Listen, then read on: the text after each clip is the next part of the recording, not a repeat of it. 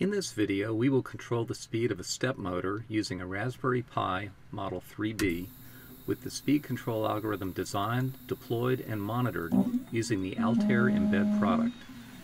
The Embed product provides access to all peripherals on the Raspberry Pi.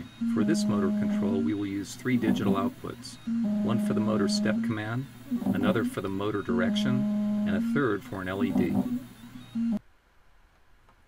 The stepper motor being controlled is a Motec MT1703HS168A 4-wire bipolar step motor. It has a step angle of 1.8 degrees, accepts a control voltage between 12 and 24 volts DC, and draws up to 1.68 amps. The Raspberry Pi 3 Model B is a single board computer with wireless LAN and Bluetooth connectivity.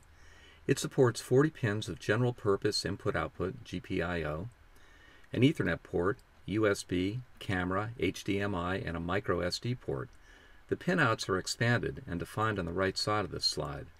We will be using three GPIO channels, channel number 16, 20, and 21, located in the lower right corner. The Texas Instrument DRV8825 stepper motor controller board provides an integrated PWM motor driver with built-in microstepping capability up to 1 32nd of a step. It is designed to control a single four-wire step motor using two digital input pins, a step and a direction, both located on the lower left corner of the board.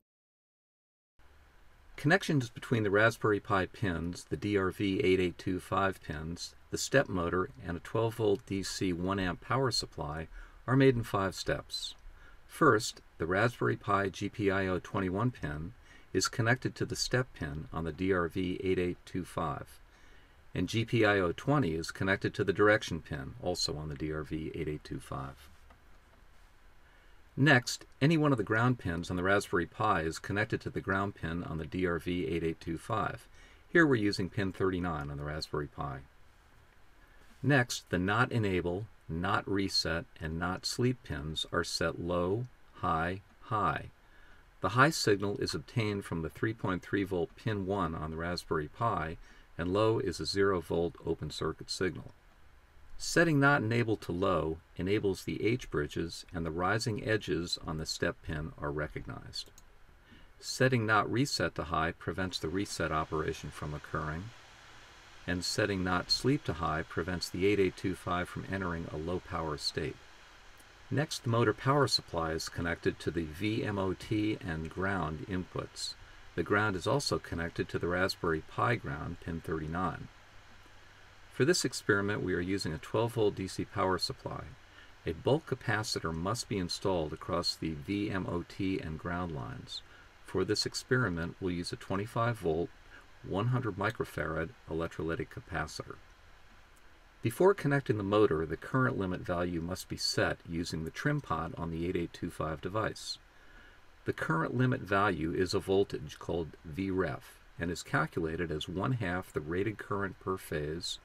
For our motor, this is 1.68 amps divided by 2, or 0.84 volts. Vref is measured using a multimeter with the COM connected to the power supply COM and the voltage input connected to a screwdriver using an alligator clip. The screwdriver is then positioned into the trim pot, completing the voltage measurement circuit. The 12 volt power supply is turned on and the trim pot is rotated using the screwdriver until the multimeter reads 0.84 volts. Our four-wire stepper motor has two phases, an A phase and a B phase. Each phase has two wires. For the A phase, the wires are named A1 and A2. For the B phase, they are named B1 and B2. We need to identify the two wires associated with each phase. Spinning the motor by hand produces a back EMF in each of the two phases, which can light an LED. By testing individual wire pairs, it's easy to identify our motor phase wires.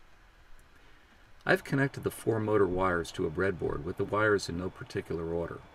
The blue wire is the topmost wire, followed by the black, red, and yellow wires.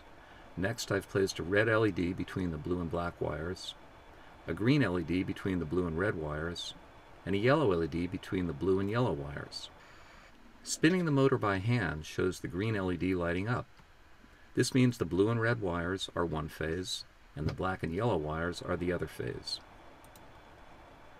Now that I've identified the motor phase wires, I'll connect them to the DRV8825.